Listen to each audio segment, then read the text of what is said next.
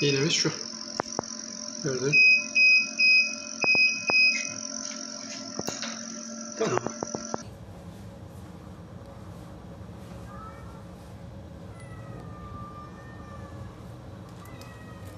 Çıkardığı şekilde bu şekilde ip bu şekilde iplik vardı üzerinde. Bu şekilde. Midenin içerisinden çıkarttık. Tabi bu ipliğin olması avantajları da var, dezavantajları da var. Çünkü şuradan tutup çekmemiz gerekiyor. Çekerken de batabiliyor hayvana. Ama çok sivri. İşte midede bir içerik olmasaydı bu deler geçerdi. Ee, hayvan açmak zorunda kalabilirdik. 6 aylık bir kedimiz. Ee, bu sahibi fark etmiş e, bir iğne yuttuğunu, iplikli bir iğne yuttuğunu fark etmiş. Ee, oradaki veteriner hekim arkadaşlar bize sevk ettiler. Ee, endoskopi ile e, midedeki e, iğneyi aldık. Ben isterseniz size göstereyim iğne şeyin durumunu. Şu gördüğünüz opak olarak görülen şu iğne, burası hayvanın midesi. Bunu bir ölçüm yaparsak midenin içerisinde yaklaşık 3,5 santim civarında bir metal iğne yani sivri bir iğne. Endoskopiyle girdik bunu. İçeriden çıkarttık. Yani bunu endoskopiyle çıkarmasak veya o aletimiz olmasa mutlaka işte e, laparotomi yapacaktık. Karnını kesecektik, mideyi kesecektik.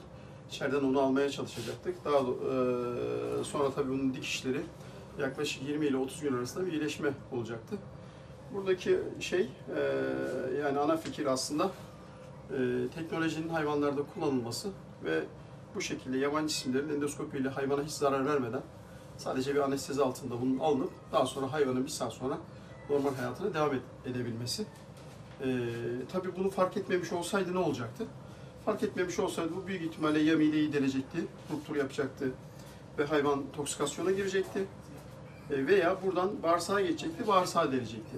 Yani bağırsağı deldiği zaman veya mideyi deldiği zaman mide ve bağırsak içeriği peritona yani karın boşluğuna iniyor ve o e, tabii ki bu mikroplu bir sıvı olduğundan dolayı septisiminden hayvanı öldürüyor. Sordunuz Şimdi mu? hastamız e, aslında e, şeyi de e, hayvanlardaki vitamin ve mineral yetmezliğinden kaynaklanan pika dediğimiz bir rahatsızlık var. Yani hayvanda mineral ve e, vitamin yetmezliği olduğu zaman yabancı cisimleri yeme, sağ solu yalama gibi e, bir semptom gösteriyor şeyler e, hayvanlar. E, bu hastamızda da büyük ihtimalle bir vitamin mineral yetmezliği var ve her bulduğunu ağzına attığını söyledi. E, o arada e, tabii onu nasıl gördü, ne gördü, iplikli bir vaziyette iğneyi nasıl gördüğünü bilemiyoruz. Hayvan alıp bunu direkt olarak yutmuş. Tabii bu yut, yutarken yere takılmamış, direkt mideye. Mide içeriğinin olması avantajımız boş olsa delecekti.